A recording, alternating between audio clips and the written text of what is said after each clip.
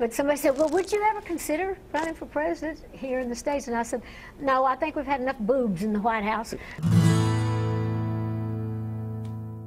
Asking Dolly Parton about politics is worse than asking a lady about how many men she's slept with. You might get slapped or flat out embarrassed. Yet somehow, people keep doing it. I count two more political quips from Dolly in this video, packed with times she filleted the interviewer up like a human Ronco knife set. I'm Addison Hager, and that's Billy Dukes. Shall we? Let's. This interview was from 2012 with Ross King. So many different talents that you have. And I've often heard your fans say, What about politics? what about it? Okay, stop right there. Ross King is a pro, but dang, she made him feel like he needed to retake Journalism 101. But she continues. I hate politics. Is that the answer? That's the no answer. way. I always hear. But somebody said, Well, would you ever consider running for president here in the States? And I said, No, I think we've had enough boobs in the White House. So it's kind of like, No, I don't think so. Flash forward six years when Nightline's David Wright tried to get Dolly to call President Donald Trump sexist. It got uncomfortable. But you know what? Good on ABC for allowing us to see it all unfurl. Meanwhile, I'm over here like this. Roll the clip. I'm not being political. I don't do politics. I'm not getting into any of that because I have a lot of fans out there and I don't want to offend anybody. And besides, I just don't get into that. And so if you are deciding you may want to ask me something more serious, don't because I'm not going to answer it. Fair warning. Okay. I I'm stand. doing I'm not going to. I'm in. Yeah. I I'm might not- still ask. Well, you can ask, but I might still tell you where to put it if I don't know where you got it. Please consider tapping if you're enjoying videos like this so far because we do list videos almost weekly. And we love sharing news and highlights from the careers of classic country artists like Dolly Parton. I really think you'll find a home here. Sometimes the one asking the questions should know better, but not always. Back to 1988 we go, when this fan asked a question during an ABC variety show. Why is it always ABC?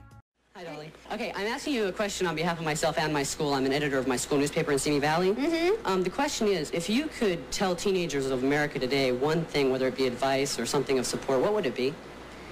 I would say, act like it's raining every day and wear your rubbers. Okay, can we rewind for a second? How about that pause between I would say and act like it's raining? It's in that moment that Dolly thought to herself, WTF. I would say, act like it's raining every day and wear your rubbers. Frankly, we're all better her throwing caution to the wind. And you know, as the father of three boys, I might call Dolly in a few years to talk to my kids. It's really not the worst advice. Is there anyone else in country music who is just as outspoken but never controversial than Dolly? Let us know in the comments. Thumbs up if Dolly is your true north. We've got the time she stumbled coming up. Spoiler alert, it involves Johnny Carson. But first, here's Dolly with some no nonsense opinions on the Black Lives Matter movement. But I do understand people uh, having to make themselves known and felt and seen. And of course, Black Lives Matter. Do we think our little white asses are the only ones that matter? No, everybody matters. I'm here for Dolly Parton pulling out the curse words. A lot of people point to the late 70s interview with Barbara Walters as a time that Dolly shut down a reporter, but she more held her own. See for yourself. Uh, show business is a money making joke, and I've just always liked telling jokes. But do you ever feel that you're a joke? That people make fun of you? Oh, I know they make fun of me, but actually, all these years, the people, you know, has has thought the joke was on me, but it's actually been on the public. I will say that she's quietly sensitive about people getting too funny about how she looks, as she should be. In 2020, talked to RuPaul of all people for Marie Claire, and he tried to say they were similar, but at the end of the day, she doesn't go out without the hair and makeup on. Dolly says, quote, Well, I don't. I have to always stay ready, street ready.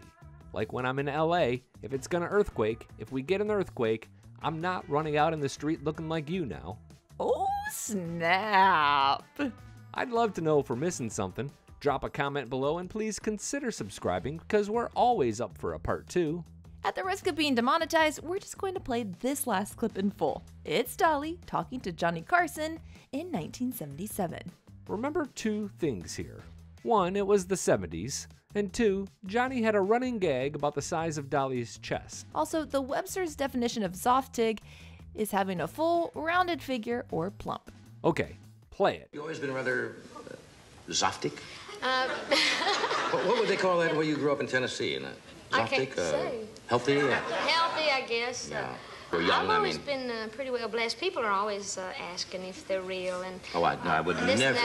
I would I never, t- you see. No, you don't have to ask. I would not. I tell you what, these are mine. I have certain guidelines on the show, I usually but I would give about a year's pay to peek under there. Kudos to Johnny Carson for being the only interviewer who could get Dolly to crack. I'm Billy Dukes. And I'm Addison Hager. Thanks for watching, and as always, thanks for subscribing.